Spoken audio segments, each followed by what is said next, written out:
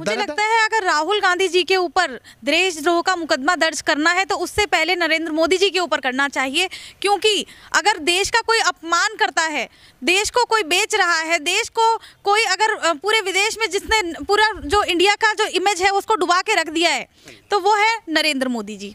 उन्होंने जो है साउथ कोरिया के अंदर कहा कि भारत के लोग ऐसा सोचते हैं कि मैंने पता नहीं कौन सा ऐसा पाप किया है जो मैं भारत देश में पैदा हुआ। ये ये वीडियो जो है वो सोशल मीडिया पर लगातार इन दिनों वायरल है।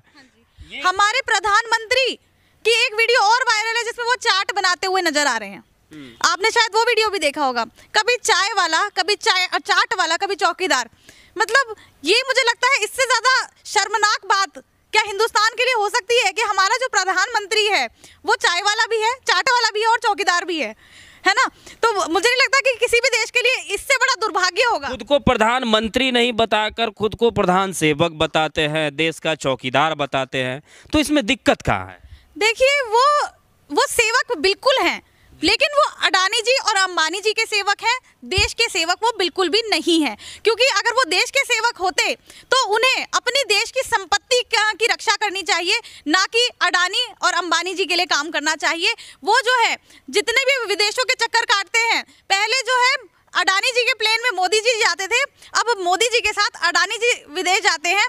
ये जो ये जो इनका जो आपस में जो दोस्ती चल रही है, हमारे देश में एक ईस्ट इंडिया कंपनी की वजह से, पूरे देश जो है, बड़े संकट में आया उससे हमें लड़ना पड़ा।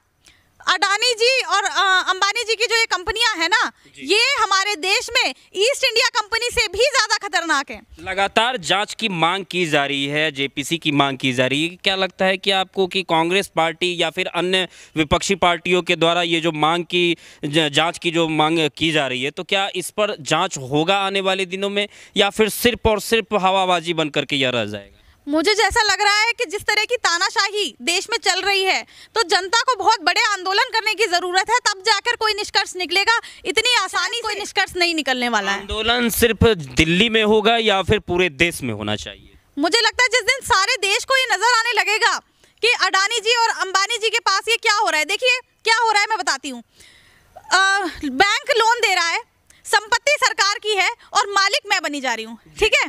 ऐसा हो रहा है। तो अगर कोई भी व्यक्ति अगर आँख खोल कर देखे तो उसे नज़र आएगा कि एक तरफ़ पैसा पैसा सरकार का। पैसा भी सरकार का और संपत्ति भी सरकार की। लेकिन मालिक कोई और बना जा रहा है। मालिक कोई और बन गया। तो इसमें पूरे देश की आँखें खोलने की ज़रूरत